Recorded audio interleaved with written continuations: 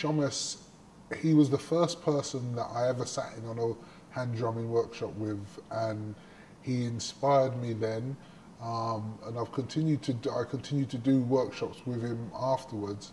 So he was an ideal choice to run to deliver um, the, the facilitators training course for us. I and everybody on the course um, really appreciated what Somesh did, the way he did it. The first people that taught me to play drums weren't black Africans. It was a white African.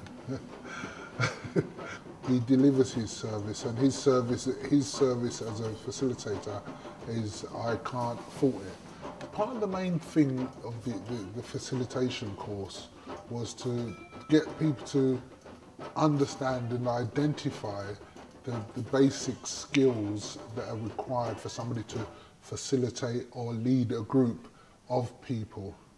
Um, so basically, they didn't have to be master drummers themselves, but they needed to know how to conduct a basic an orchestra or a group of people in how to be able to play individually and as a part of a collective group.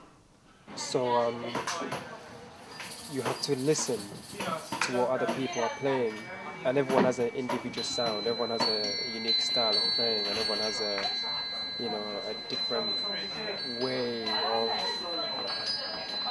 beating the drum, I'd say, or a different rhythm.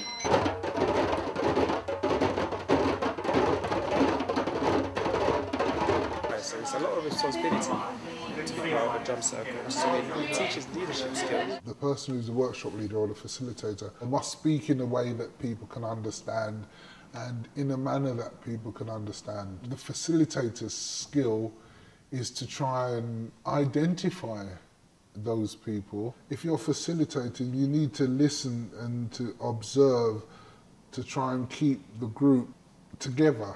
And that's the objective of the facilitator. I thought it was a really good introduction. Um, and it gave me a really good taste of what it would be like to be a facilitator. I found the course to be quite uh, quite simple in terms of being a facilitator. Um, it's not gone too deep, and it's allowed me to learn at a pace, um, an easy pace. Also, it's uh, allowed you to want to learn more. With hand drumming and facilitating, um, it's you're giving people instructions, but the knowledge of what they're doing comes from themselves. It doesn't actually come from the person giving the instructions. So um, you show somebody how to play a rhythm, and they might play it a couple of times, but they they will understand the rhythm in their way. Whereas if, if I was teaching somebody to box, I'd say to them, throw a punch this way. And I could only show them, I'd show them to throw it the way I threw it, and they'll throw it the way I threw it. And it may not be them. It may suit them to throw it another way. But whereas with the, with the drumming activity, the way, when you understand it, you understand it from your perspective, your way. Yeah, so I'm encouraging people to develop their own knowledge. I'm not passing on my knowledge. Not only have I found out that I'm far more musical than I thought I was, I found out that I can actually facilitate as well. And it's, it's been a big learning curve and very enjoyable. Um, when you're a participant, you again need to listen and to pay attention so that you don't wander off from the group on your own. When you're in a drum circle, you have to work as a team, you have to work together.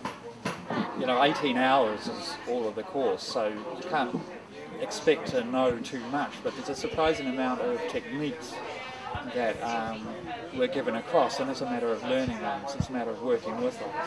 Yeah, the build-up listening exercise where um, you start and the, the, the group builds up into a crescendo where one person plays a rhythm and then the next person comes in and the next person comes in.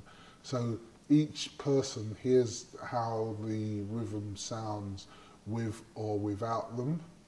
Um, and then they're able to distinguish the group sound from the individual sound as well. So yeah, that's a, that's that's a very good listening exercise, and that exercise is um, normally combined with the one where first people close their eyes. They play the rhythm with their eyes closed because naturally, when their eyes are closed, they are forced to listen. Whereas um, when your eyes are open, you, you see things, you get distracted, so you're not using your listening skills. Clear signals. We had to identify how to use clear signals so that we expressed it in a way. For example, if we were splitting the group in two and one group was playing one rhythm and another group was playing another rhythm, you had to be able to be show how to identify to one group. We used the, the technique of making eye contact with people when dealing with people in a group, in a circle. Um, it's always good to make eye contact and that way you can be sure that, that your message has been imparted. We used to say countdown, so when I count to four, then you stop. So imagine I have to do that to a group of people, so I have to make eye contact, say four, and then one, two, three, four, stop. And then at the same time, there's another group going on, and you'd say, keep that going, keep it up, keep it up.